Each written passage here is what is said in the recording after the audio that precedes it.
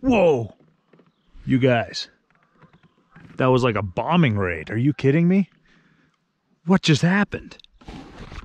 I almost got pooped on by those geese. This day is ridiculous. They knew what they were doing. They knew what they were doing.